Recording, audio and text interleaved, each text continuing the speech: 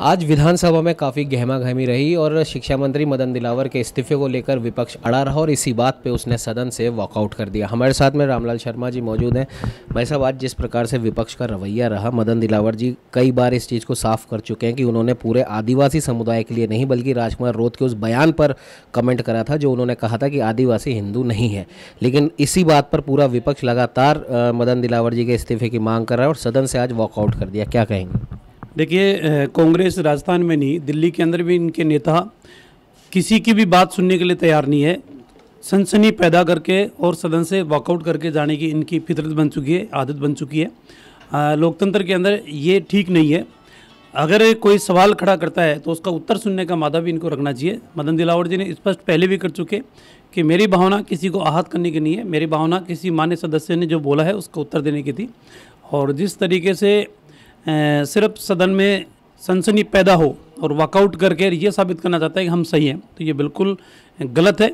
सरकार की तरफ़ से भी स्पष्टीकरण पहले भी दिया जा चुका है, अब फिर आज मदन दिलावर जी देंगे। निश्चित रूप से अपनी बात को वो स्पष्टता के साथ सदन के अंदर रखेंगे। और भारतीय जनता पार्टी हमेशा हर वर्ग को साथ लेकर चलने में विश्वास रखती है। किसी वर्ग को तोड़ने की या तुष्टिकरण की राजनीति करने का विश्वास नहीं रखती है।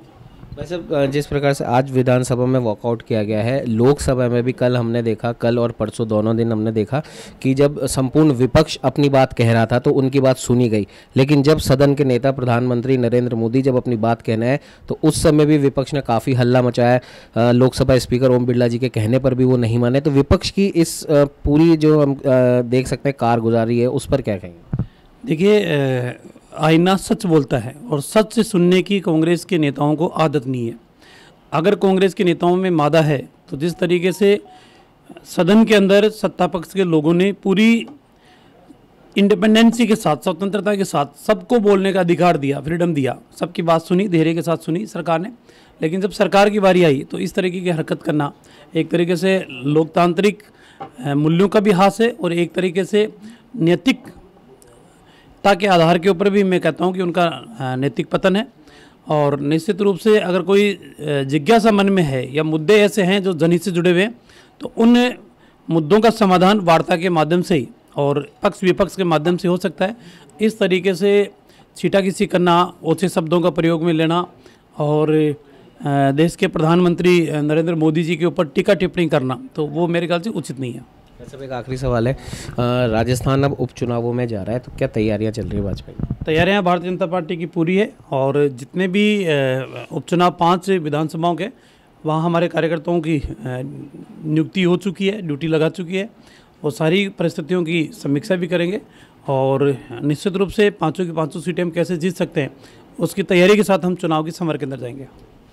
ये तो हमारे साथ रामलाल शर्मा जी, इनका साफ़ तौर पर कहना है कि न सिर्फ़ विधानसभा में, बल्कि लोकसभा में भी जिस प्रकार से विपक्ष का रवैया रहा है, अपनी बात तो वो कह देते हैं, लेकिन सरकार की, सदन के नेता की बात सुनने में उन्हें गुरेज है और इस वजह से वो वॉकआउट भी कर रहे रही बात शिक्षा मंत्री मदन दिलावर जी की तो उन्होंने कई बार इस चीज़ को क्लियर करा है कि मैंने संपूर्ण आदिवासी समाज के लिए नहीं, बल्कि सिर्फ़ और सिर्फ़ राजकुमार रोत के उस बयान पर अपनी बात रखी थी कि अगर राजकुमार रोत अपने आप को हिंदू नहीं मानते हैं तो उनका डीएनए टेस्ट कराएँगे। लेकिन उनके बयान को तोड़ मड़ोड़ कर पेश किया गया और आज उसी बात पर उनके इस्तीफे की मांग को लेकर संपूर्ण विपक्ष ने वॉकआउट कर दिया।